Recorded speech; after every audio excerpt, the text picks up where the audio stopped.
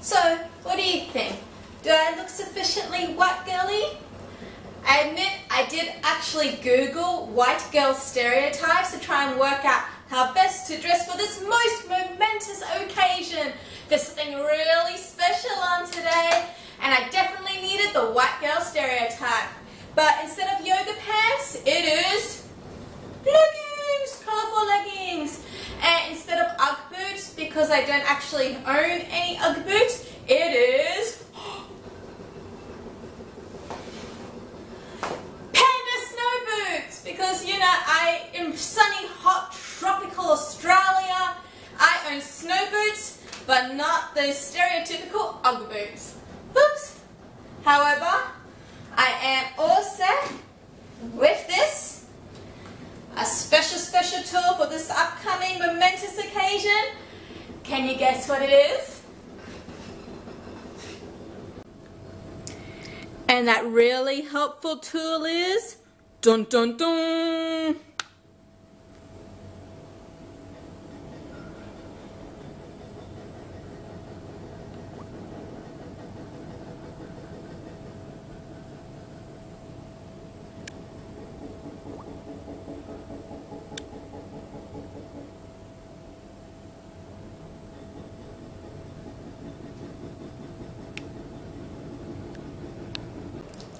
That's right. If you download the Starbucks app, and there's even an app specifically for Australia, then as a thank you, you get half price off the drink, which means even if you don't like the drink, at least you didn't have to pay full price for it, right?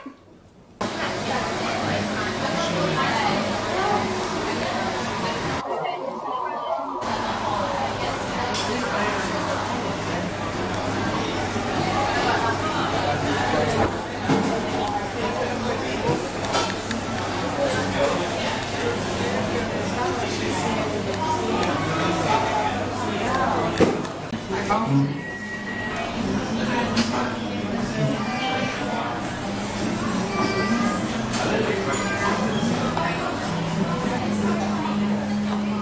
I probably look a little bit insane, but I don't care because I have literally waited years for this.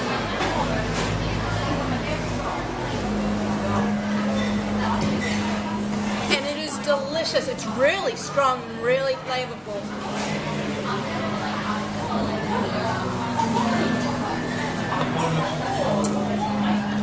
And, of course, in the true spirit of the season,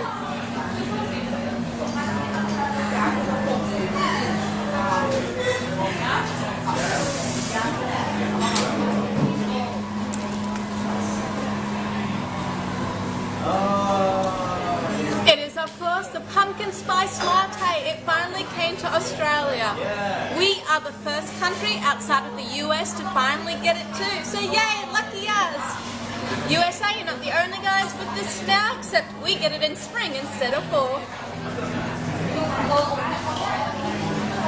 And it's delicious. It's very, very sweet, very, very flavorful. Like a buttery taste to it. You can notice the cinnamon. It's like a cookie. It's very much like an autumn type of cookie.